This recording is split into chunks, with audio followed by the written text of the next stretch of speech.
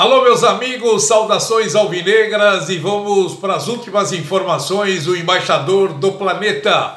Hoje, os jogadores que não atuaram na partida de ontem contra o Corinthians fizeram trabalho é, no campo, treinaram, correram, bateram um pouco de bola, muito calor na Baixada Santista. E é lógico que aqueles que jogaram fizeram apenas um trabalho de regeneração, recuperação para a sequência da semana, porque tem jogo importante na quinta-feira contra o time do Fortaleza. O Santos, que acabou perdendo para o Corinthians, permanece com 42 pontos, é o 12 colocado, continua numa situação delicada no campeonato. E a gente sabe que a equipe precisa reagir e começar para esse jogo aí contra o Fortaleza. Quinta-feira é um jogo em que o Santos, dentro de casa, tem que pontuar. Tem que começar a pontuar apenas duas partidas que o Santos vai ter em casa contra o Fortaleza, depois a última partida do campeonato contra o Cuiabá. E o Santos vai ter dois jogos fora.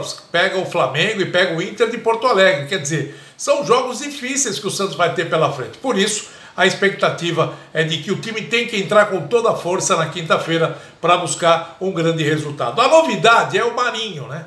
Marinho que não jogou a partida contra o Corinthians porque ficou se queixando com dores musculares a, a, ressonância, o exame de imagens que ele acabou fazendo na coxa não acusou nenhum tipo de lesão, mas o atleta subjetivo, né, porque a dor é subjetiva, acabou falando para o departamento médico, para os médicos do Santos, que estava sentindo dores no local e é por isso que ele foi poupado desse compromisso. Hoje já voltou, voltou sem sentir dor, voltou, jogou, treinou numa boa, provavelmente vai ficar à disposição do técnico Carilli para esse compromisso. Mas a grande expectativa mesmo é com relação ao goleiro João Paulo, hein? O que o goleiro vem pegando nos últimos jogos, sem dúvida nenhuma, o João Paulo é o grande salvador do Santos nesse momento. Se a gente analisar todos os jogos que o Santos teve a presença do João Paulo como o melhor jogador em campo, o Santos estaria em uma outra situação no Campeonato Brasileiro. Porque ele fechou o gol em várias partidas, ajudou o Santos a não perder, ajudou o Santos a pontuar. E ontem mesmo, no jogo contra o Corinthians, ele foi responsável por segurar esse resultado, que poderia ter sido muito mais. As defesas que ele acabou fazendo, defesas difíceis, né? Que ele acabou fazendo e ajudou o Santos. Infelizmente, o maior problema do Peixe é o ataque. O ataque improdutivo, quer dizer, a defesa consegue segurar, o ataque não produz, é lógico e evidente que a coisa fica complicada. Agora, a gente sabe que tem que segurar o João Paulo, porque já existem times aí de olho no jogador.